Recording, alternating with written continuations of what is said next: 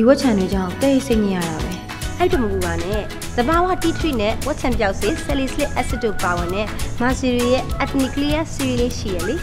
ဒါဆိုရင်ကြောင့်ဝက်ချန်တွေလုံးဝမရှိတော့ပဲ okay သွားပြီလေ Masuri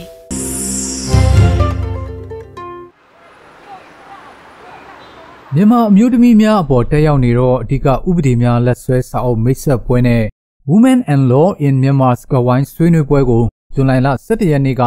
International Business Center မှာပြုလုပ်ခဲ့ပါတယ်။ဒီပွဲကိုအာရှဖောင်ဒေးရှင်းနဲ့ဒါနရှိဆောင်မြန်မာအဖွဲ့တို့ဦးဆောင်ကျင်းပခဲ့တာဖြစ်ပြီးရန်ကုန်တိုင်းလွှတ်တော်ကိုယ်စားလှယ်တော်ကြီးပြ Gender Equality Network ကဒေါ်နင်းရွှေစင်လိုင်နဲ့ဥပဒေပညာရှင်ဦးဝင်းထိန်တို့ဆွေးနွေးခဲ့ကြတာဖြစ်ပါတယ်။မြန်မာအမျိုးသမီးများပေါ်တက်ရောက်နေတော့အဓိကဥပဒေများလက်ဆွဲစာအုပ်ထုတ်ဝေဖြစ်တဲ့အကြောင်းရင်းကိုတော့အေယာဝတီတိုင်းလွတ်တော်ဥပဒေပြုရေးကော်မတီဥက္ကဋ္ဌဦးခင်ဝင်းကရှင်းပြခဲ့ပါတယ်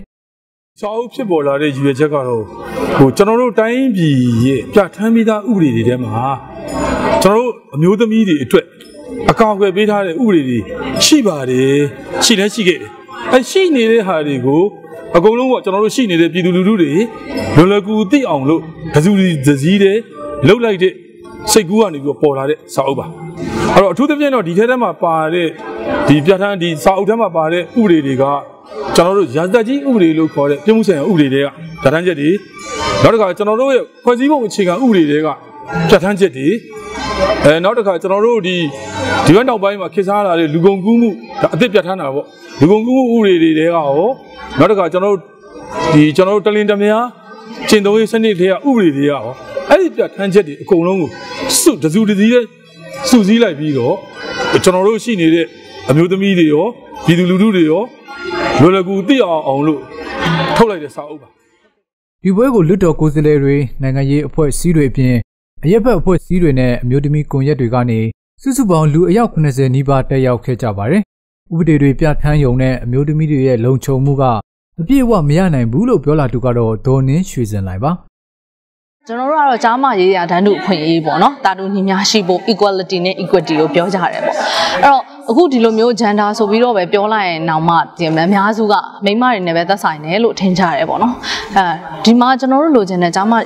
ရေးရဒန်းတို့ညီညာညီမျှမှုဆိုတာအမျိုးသားနဲ့အမျိုးသမီးမှာဇီဝဗေဒဖြစ်စဉ်ရကွာခြားချက်တွေရှိတယ်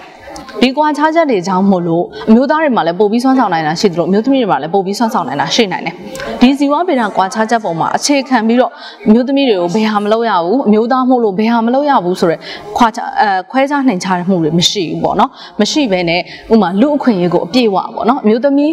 အမျိုးသားကျောင်းတက်နိုင်ရင်အမျိုးသမီးလည်းကျောင်းတက်နိုင်ရမယ်အမျိုးသားဒီဒီမှာနိုင်ငံအကြီးအကဲဖြစ်နိုင်ရင်အမျိုးသမီးလည်းနိုင်ငံအကြီးအကဲဖြစ်နိုင်ရမယ်ဒန်းတူညီမျှအခွင့်အရေးပေါ့နော်ဟို ဘယ်ဟာပေါ်မှာဥမာ तू ကမိန်းမမို့လို့မလုံးနိုင်ပါဘူးဆိုရဲယူဆချက်တွေနဲ့ခွဲခြားနေချာဆက်ဆံတာထက်စားရင်ဒန်းတူအခွင့်အရေးအားလုံးပေးစေချင်တာပေါ့နော်